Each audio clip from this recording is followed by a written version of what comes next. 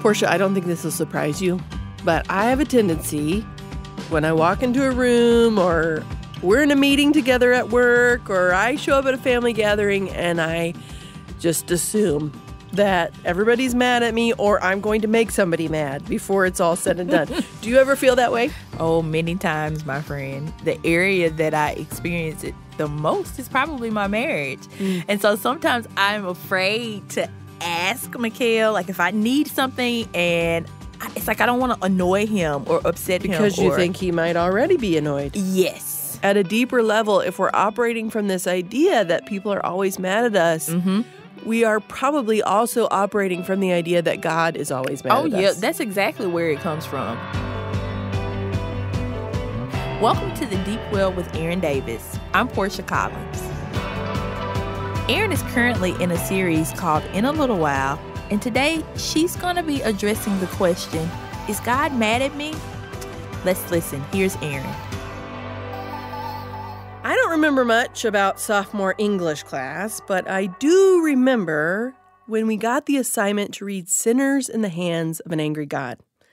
It's an old sermon written by Jonathan Edwards. Now, what you need to know is that I was a brand new follower of Jesus. And I hadn't heard very many sermons at all. I certainly had never heard anybody preach in a style that could be described as fire and brimstone.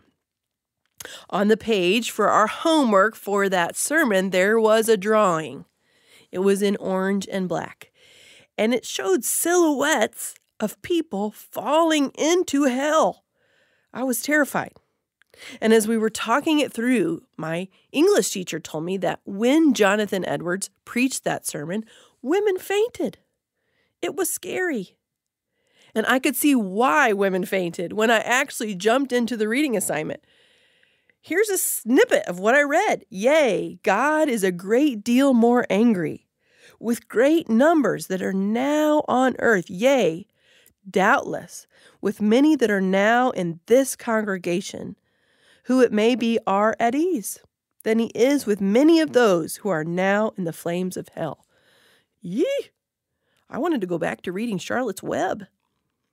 But God used that sermon to ignite the Great Awakening, and I'm not questioning its merit, but to a 15 year old new follower of Jesus who was just learning my way around the Bible, just the words, angry God, were scary to me.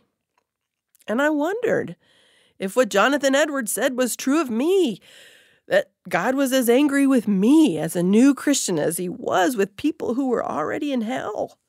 I don't think there was ever a time when I didn't believe in God. I've never really questioned his existence, but I have had questions, lots of questions about his character. You know, we all have different personalities. We can take zillions of personality assessments that'll tell us where we are on some chart and what our personality is related to an animal or a plant. And we're all different from each other in that way. And it's part of my personality, for better or worse, that I just assume everyone is mad at me. And I know that sounds silly. When I say it out loud, I feel silly about it, but it is true. My baseline assumption is that I have, or I'm going to, do something to frustrate you. And so, my baseline assumption about God, certainly as a new follower of Jesus and a teenager, and for many, many years afterwards, is that He was always mad at me too. We're working through a series in the Deep Well on God and time. And the way we're doing that is that we're looking for the phrase in a little while in our Bibles. In this episode, we're going to find it twice in the book of Isaiah. It's in Isaiah chapter 10, verse 25, and Isaiah chapter 29, verses 17 through 24. Let me read us those passages. Isaiah 10, 25. For in a very little while my fury will come to an end, and my anger will be directed to their destruction. Let me flip to Isaiah 29, 17 through 21, and then we'll connect these dots. Is it not yet a very little while until Lebanon shall be turned into a fruitful field, and the fruitful field shall be regarded as a forest? In that day the deaf shall hear the words of a book, and out of their gloom and darkness the eyes of the blind shall see. The meek shall obtain fresh joy in the Lord, and the poor among mankind shall exult in the Holy One of Israel. For the ruthless shall come to nothing, and the scoffer cease, and all who watch to do evil shall be cut off, who by a word make a man out to be an offender, and lay a snare for him who reproves in the gate, and with an empty plea turn aside from him who is in the right. Again, let's do a little background check. If you listen to episode one in this series, we talked about Haggai. He was an Israelite and a prophet. He returned to Jerusalem from captivity, and God used Haggai to call his people to rebuild the temple. And he promised, I'm going to refill that temple with my glory in a little while. Well, we have to rewind in our Bibles a little bit for this episode. And young listeners of the Deep Well, I love you. I am so glad you're here. You really are the reason that the Deep Well exists. I want you to fall in love with your whole Bible. But for now, I need to tell you about a wonder of my childhood. We had a whole device dedicated to rewinding our VHS tapes. We rented our VCR and videos from the video store on the weekend, and we had to return those tapes rewound. Well, that wasn't a problem because we had a VHS rewinder. You'd put the tape in, you'd press rewind, and it took about three minutes. Bingo! Your tape was rewound and we didn't have to hold down the rewind button the whole time. We thought it was amazing. So let's rewind from Haggai to Isaiah. And I'm glad we talked about Haggai first because there's some connecting points. Isaiah was also an Israelite. And the first several chapters of the book of Isaiah's message is that God's people must repent of their idolatry, and that if they didn't, they would be invaded and taken captive. That should ring some bells because they did not repent. And midway through the book, Jerusalem was under siege, and by the end of the book, God's people were in exile. Now, the book of Isaiah is complex. I would never try to boil it down to a single podcast episode, and it has a lot of important themes in it. It prophesies about Jesus multiple places. You've probably heard the book of Isaiah read at Christmas. And one of the themes is God's judgment. God is holy, and God is just, and God has every right to judge and punish sin in our lives. And we see that throughout the book of Isaiah. God's people were, in fact, idol worshippers. And they were, in fact, given opportunities to repent, and they did not. But God is also merciful, He is full of grace. And judgment and mercy go hand in hand with Him. We see this in Isaiah 10 24 through 27. Therefore, thus says the Lord God of hosts O my people who dwell in Zion, be not afraid of the Assyrians when they strike with the rod and lift up their staff against you as the Egyptians did.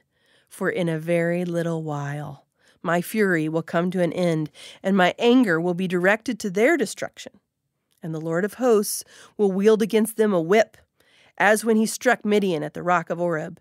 And his staff will be over the sea, and he will lift it as he did in Egypt and in that day his burden will depart from your shoulder, and his yoke from your neck, and the yoke will be broken because of the fat.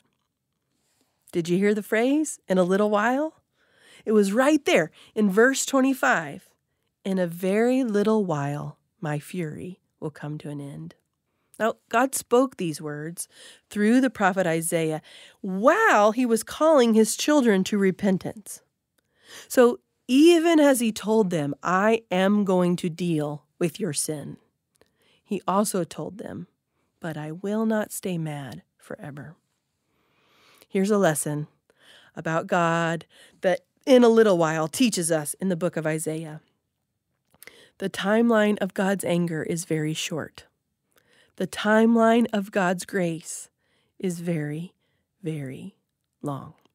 I'm a parent of four boys, and if you listen to the Deep Well, you already know that because you won't hear me teach very often without bringing up my sons Eli, Noble, Judah, and Ezra. They are my delight. I love to talk about them. And they also provide lots of teaching illustrations. So when I read the words of the prophet Isaiah, what I hear there is parenting language. Let's read verses 24 and 25 again. Therefore, thus says the Lord God of hosts O my people, who dwell in Zion, be not afraid of Assyria when they strike with the rod and lift up their staff against you, as the Egyptians did. For in a very little while my fury will come to an end, and my anger will be directed at their destruction. Strike the rod. That's a parenting phrase. The Israelites were, in a sense, about to get a spanking, and this one was going to sting. The Assyrians were a wicked and violent people, as were the Babylonians who would eventually capture them. But God said, Don't be afraid of this punishment, not because it's not going to hurt, it is, but because it's only going to last for a little while. I hope my sons know that about me. I've never asked them, but I hope they know, without a shadow of a doubt, that I may need to spank them, to teach them that disobedience has consequences but I will never, ever keep spanking them. I hope that thought's never even occurred to them. It's never happened. But I hope they know this is going to hurt, but it's only going to last for a little while. There's times when I need to sit my boy down on the stairs so he can think about how he treated me or how he treated his brothers. But he knows. When I sit him on the stairs, he already knows he's not going to have to stay there very long. God was giving his children confidence that he's that kind of parent. And here in Isaiah 10, what we see to be true about how God parented the Israelites in this moment in history is still true for how God parents us. Fast forward to Isaiah 29 17 through 24 the way we got there is that for chapter after chapter, Isaiah wrote about God's wrath against the nations, against Israel, and some of it feels really scary. Listen to Isaiah 24 6. Therefore, a curse devours the earth, and its inhabitants suffer for their guilt. Therefore, the inhabitants of the earth are scorched, and few men are left. You know what that sounds like to me? It sounds like that picture in my sophomore English textbook. And when we get gut level honest, we know we've earned it. Just like God's people in Isaiah's day, we chase after idols. And ours are American idols. Mine is comfort. I'm always comfort seeking. I will prioritize comfort over almost anything else in my flesh and I don't know what your idols are. Maybe it's not comfort. And I could list a bunch of possibilities of what it might be, but you don't need me to because you know what your idols are. If you are a follower of Jesus and you have the Holy Spirit living in you, He is always calling you to turn from vain idols. And why?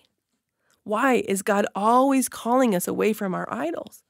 Why didn't the Israelites turn from their idols when they knew the result of failing to repent was going to be so horrific?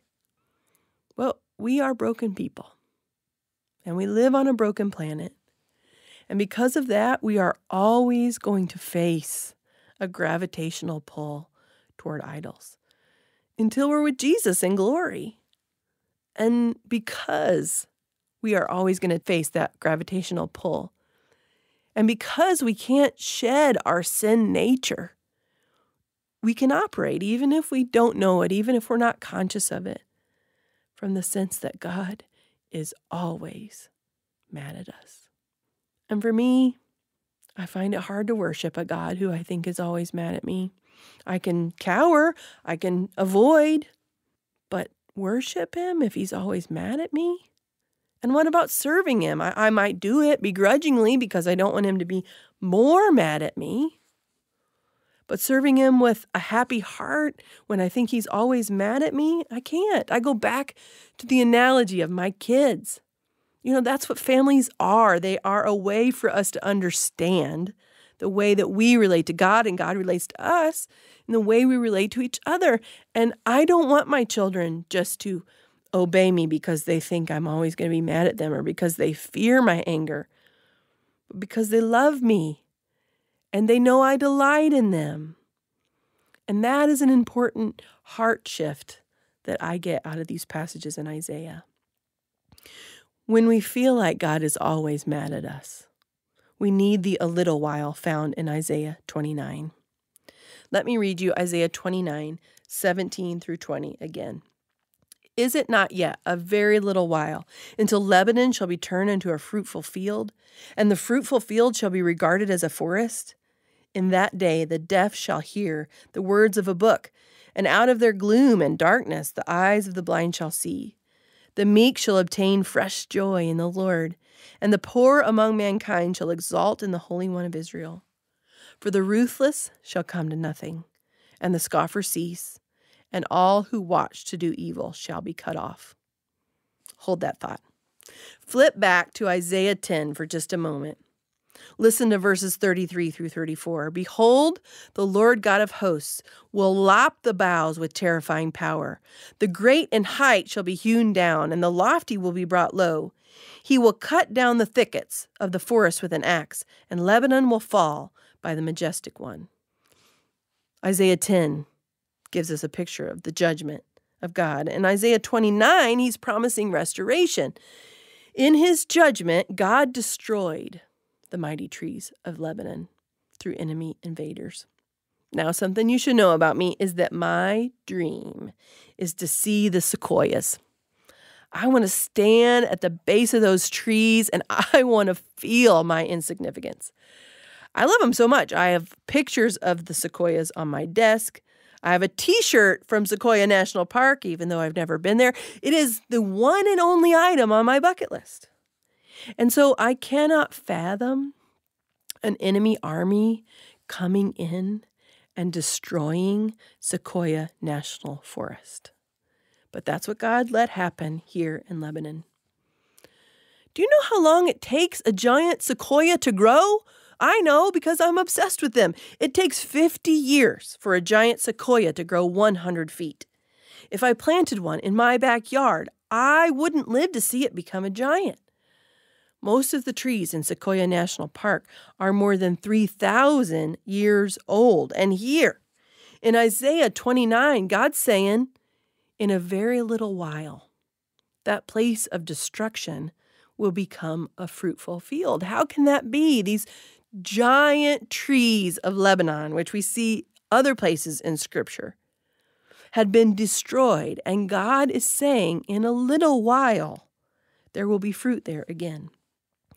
And also in Isaiah 29, we read that those who could not see and hear the word of God, they were blinded, they were made deaf by their sin. And the promise here is that suddenly we're going to get it. In a little while, God's going to unstop our ears, He's going to uncover our eyes. In this passage in Isaiah 29, it promises fresh joy in the Lord, worship reignited. What's going on? What does it all mean? I think we could read the Bible one of two ways. We could read it as an endless string of God's anger. There was judgment at the garden. There was judgment at the flood. There's judgment here in the prophets. There's judgment in the book of Revelation. And that's one view of time. But the full view that Scripture gives us is one of all human history covered in God's grace. Where there are moments where God's righteous anger was justified, but it didn't last long. Both in Isaiah 10 and in Isaiah 29, one word gets added to the phrase in a little while. Did you catch it? Go back and read it. See if you can find it. The word is very. The timeline of God's anger is very short. The timeline of His grace is very, very long. Listen to Psalm 30, 4 through 5. Sing praises to the Lord, O you his saints, and give thanks to his holy name. For his anger is but for a moment, and his favor is for a lifetime. Weeping may tarry for the night, but joy comes with the morning. Now, this tells us something that's really important. God's anger is short for a little while, for his saints. For those of us who are in Christ, we can know that God's anger will not last forever. For those who are not in Christ, his anger does last forever. But th- for those of us who know God, who follow Jesus, this is what the psalmist says Sing praise to the Lord, O you his saints, and give thanks to his holy name, for his anger is but for a moment, and his favor is for a lifetime. How long does God's anger last? But for a moment. In other words, just for a little while. In contrast, what about his favor? What about his grace? What about his love? What about his mercy? They last for a lifetime. In fact, they last beyond our lifetime. Heaven is a place where we will finally be free of sin and where we will no longer need God's wrath to correct us. And that is what time is moving us toward. As you're listening to this series, I hope you're rethinking timelines. I hope you're getting some new mental images for the way that time works according to God's word. And here's one for you a word picture of one long, never ending timeline of God's grace. It has no beginning, it has no end. It just goes on and on and on and on and on and on. That really is the timeline of our lives. That really is what we see here in Isaiah that even as God is promising judgment, and even as the judgment is being handed down, and even right after the judgment has been handed down and the land is destroyed, God is saying, This is only going to last for a little while it's only going to last for a little while. Because the purpose of God's judgment is not to squash us, but to call us back to Him. But it's true that on the timeline of our lives, there are dashes where God is angered by our sin. And in His mercy, He does not permit us to stay in that sin. But it doesn't make me a good parent to let my boys disobey me. It's not going to lead to their flourishing, to let them behave any way they want to, because they have a sin nature too. So I hope that if they could make a timeline of their life with me, there would be one long timeline of my love and my grace and my mercy and my goodness to them. And there would be little dashes where I got angry and I needed to discipline them. God's anger, it has a purpose. And the purpose of God's anger is to redirect us toward that long line of His grace. But God is not mad at you all the time. Judgment has a limited time, just a dash. Grace extends without limit. I was teaching at a women's conference once, several years ago, and man, we were singing our hearts out. And there was a woman playing the keyboard, and suddenly she stopped playing. And she said into her microphone, God's not mad at you.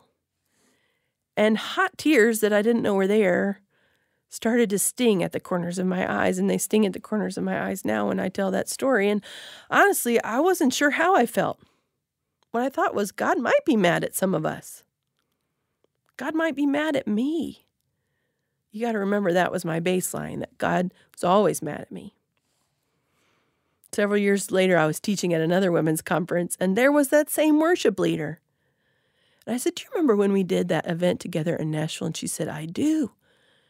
She said, That was the strangest thing. I just felt this urge to say, God's not mad at you. And those hot tears came back into the corners of my eyes. And I said, I remember. She told me stories of how women at that conference came up to her and shared how much they needed to hear that. I wasn't the only one with hot tears. You know, if we see history as one long story of God's anger, we live in fear. I can't read the Bible and say that God will never be angry. But I can look at what's happening here in Isaiah, and I can say with confidence, because of God's word, he will not stay angry.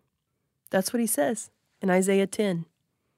In a very little while, my fury will come to an end. As followers of Jesus, are we sinners in the hands of an angry God? Maybe. For a moment. Are we sinners in the hands of a gracious God? Always. Always. Always. You know, before we say goodbye in this episode, there's one more passage of scripture we need to read from the book of Isaiah. It comes from Isaiah 53 5 through 6. He was pierced for our transgressions, he was crushed for our iniquities. Upon him was the chastisement that brought us peace, and with his wounds we are healed. All we like sheep have gone astray. We have turned every one to his own way, and the Lord has laid upon him the iniquity of us all. There's a reason you can know with confidence that God's not always mad at you. And it's not because you don't deserve it. This passage tells us we're all like sheep running in glad rebellion from the Lord. But because God the Father put onto Jesus the Son the punishment, the anger, the chastisement that we deserved. And his anger was satisfied. So that it's true. His anger really does only last for a little while. But his mercy, it goes on forever and ever and ever and ever. That's Erin Davis, and she is sharing the most beautiful, wonderful message that any of us could ever hear the gospel of Jesus Christ. All too often, we forget that the Bible is saturated with gospel truths from the beginning to the end. And what I love about one of Erin's most recent studies, it's Seven Feasts Finding Christ in the Sacred Celebrations of the Old Testament, is that guess what? This study takes you right to the heart of the gospel. So I encourage you to check it out. If you want to grab a copy, visit reviveourhearts.com slash the deep well. Okay, it's time for Erin Unscripted. And Erin, I have a question, or maybe it's a thought.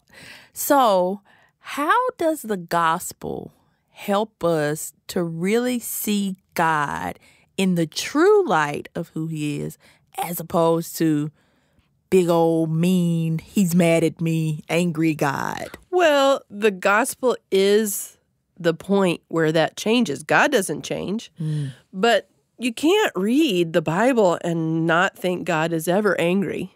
Right. He does get angry.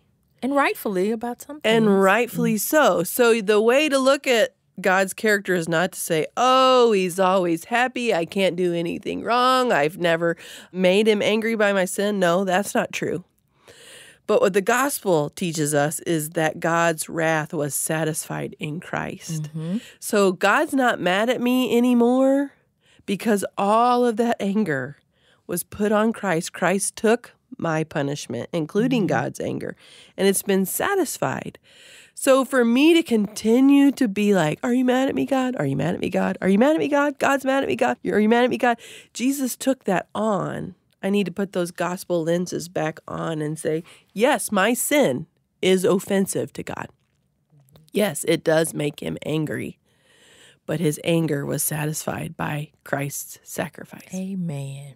I struggled tremendously with, honestly, just an assurance that God loved me. Mm. I had put this weight and this pressure on myself to be this and to you know, basically my idea of love was conditional. I felt like God only loved me if I was able to do this or if I was able to be this type of person. And so it made me literally terrified, terrified of death, terrified mm-hmm. of hell, terrified of God. And hearing the gospel over and over, we could we could never grow old no. of hearing the gospel, but hearing it over and over it's like a balm to my soul. It is the truth that I need to hear to help me rightly understand who God is and how, as you said, yes, our sin is offensive and anger is a just response to that. But we have a beautiful Savior who has taken on the wrath of God. For so he's sake, not for our sake. less angry at you or love you more because you got better, mm-hmm. you know, mm-hmm. or because you're doing better at XYZ or you stop sinning at this, although he certainly calls us to stop sinning. But because who he is is to be merciful and displayed in the gospel. Yes. I sometimes I feel a little insecure as a Bible teacher because it does not matter what I'm teaching on. I'm going to point it to the gospel. Same. And I'm like, well, I just feel like I'm teaching the same lesson over and over, but I'm using a different passage. But that really is the lens through which I see mm-hmm. scripture, and it really is the lens that makes a difference in my life. Mm. You know, one thing that I hear people say often is they get tired of reading about the God of the Old Testament, mm. the angry God. He's Sodom and Gomorrah. Yes, yeah. yes. Honestly, I love all parts of scripture and I don't see now, at one point I did, but now I don't see the God of the Old Testament apart from the God of the New Testament or or separate. It's the same God with the same emotions. It's just where we are in the story, we kind of get to view things through a different lens. I right. and sense. I part of it also is how do we respond to that word anger? I mean, mm. we just want to throw that whole emotion out. That's a bad emotion. Nobody should ever feel anger. Mm-hmm. Well, scripture says in the New Testament, be angry and do not sin. Mm-hmm. So, meaning anger in itself is not a sinful emotion. Correct. I'm sure you can think of some times, but there are times when anger is a right response. Mm-hmm. You know, when we see an injustice, um, when we see somebody being abused, we should be angry. And that is the kind of anger we're seeing displayed. Why do you think you were able to make the shift from however many years or however long that was of seeing a dichotomy, like these are two different gods and two different testaments, to now it feeling like one picture of one God? What happened? I stopped viewing scripture as disjointed pieces and it, it really became one story of God's faithfulness to sinful humans. And so we see as I, I began to look and I see God's response to sin, I see why he responds this way because of his holiness. It's not because he's just trying to be big old mean God.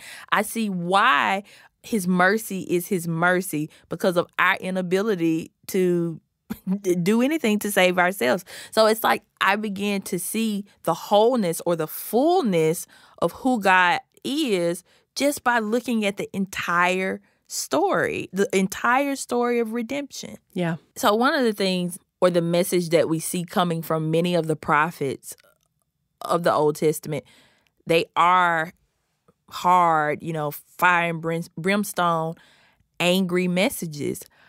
But I think it's so important for us to look at why mm. and what God is calling out in his people that's wrong, that's causing or prompting this emotion of anger. And so, you know, there was injustice going on with widows and orphans and the oppressed being taken and the advantage, poor. And the poor correct. And then like we, we see the spiritual apathy and things like that. And so god's response to these things is actually when we really think about it they're the very things that we kind of we don't like to see anybody right and we live in this advocate culture mm-hmm. you know you're mm-hmm. supposed to have a because mm-hmm. and you're mm-hmm. supposed to advocate for it I'm not knocking that necessarily, but mm-hmm. there's a part of us that really resonates with justice mm-hmm. and advocating for those who can't advocate for themselves, but resists God's anger. Right. And God wasn't just being mad to be mad. Right.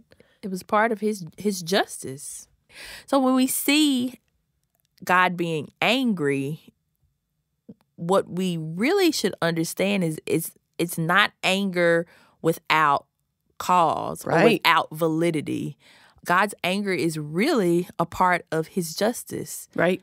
And he he calls us to the carpet on that in Mm. areas where we have done wrongly, where we have not been merciful to our brother or sister, where we have, you know, failed to care for the widow or the orphan. Yeah, we don't ever see him getting hangry, you know, just right. mad at us because he needs some protein, Right. or we don't ever see him getting angry just to throw his weight around. Mhm. His anger is directed toward our sin.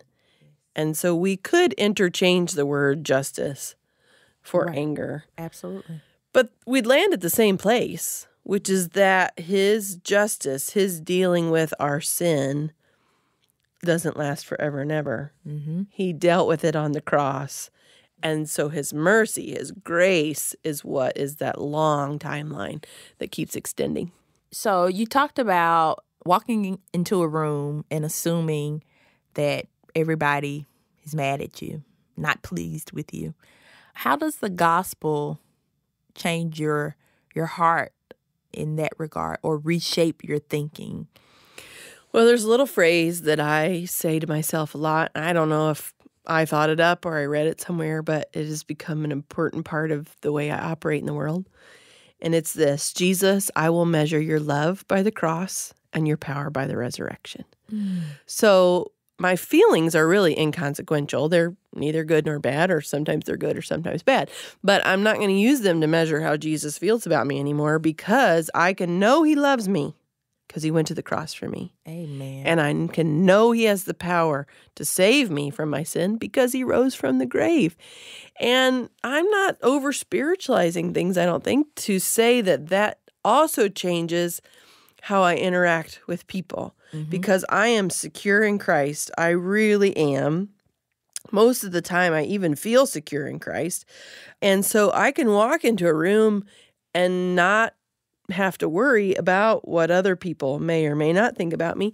And also know that everybody in that room needs the gospel. So if they are mad at me, Mhm. that is something that we could work out or the Lord could work in our hearts about, or it is something that we can let go of because it has nothing to do with anything of real significance. So I do have a confidence in Christ that changes the way I relate to people.